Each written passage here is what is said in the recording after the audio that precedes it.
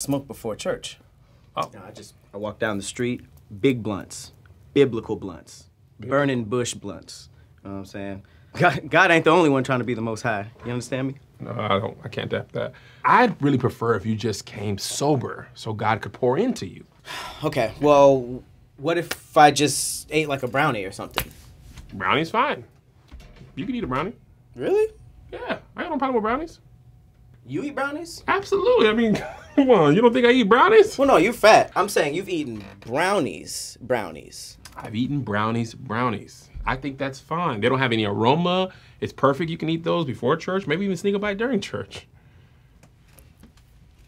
Oh, okay. You want some? You want me to bring you some? Yeah, I'd love some. I- I'll, I'll bring you a brownie. Perfect. Why not? Take two. Two? I'll, take a pan. I'll make a whole batch. All right, my brother. Thank All you. right. I guess we can both be the most high.